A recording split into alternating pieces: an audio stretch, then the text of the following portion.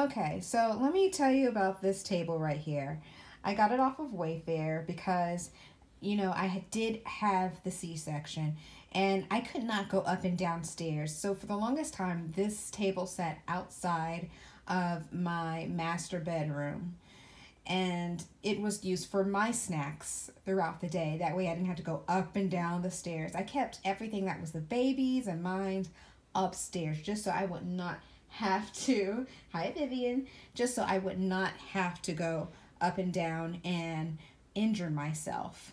All right. But now that we've moved, I have this console table within my bedroom now because we are doing some tiny living at the moment. All right. So everything that you see here is Vivien's.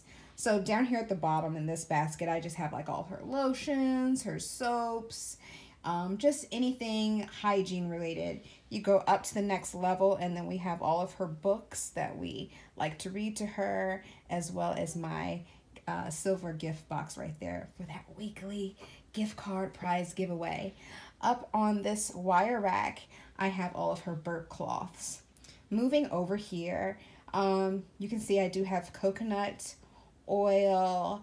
I have way in the back there, that little blue lid in the back, is her um, powdered down uh, placenta.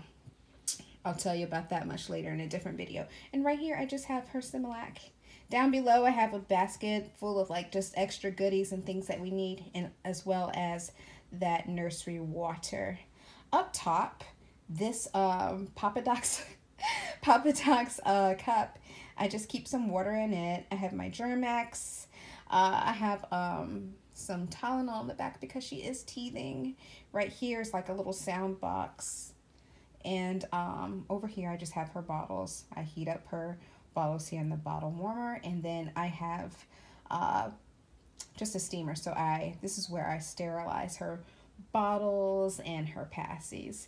This table is so helpful to me because of uh, where we're living right now. And I just needed a place that was dedicated to baby. Right next to her is her diaper genie. Right next to the console table is her diaper genie.